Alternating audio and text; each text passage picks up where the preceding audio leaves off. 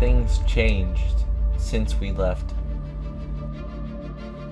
The things we loved turned to ash.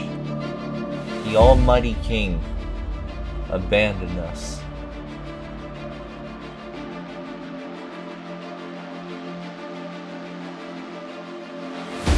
But there's still hope. A champion has arisen and will fight until the end. This is where heroes rise.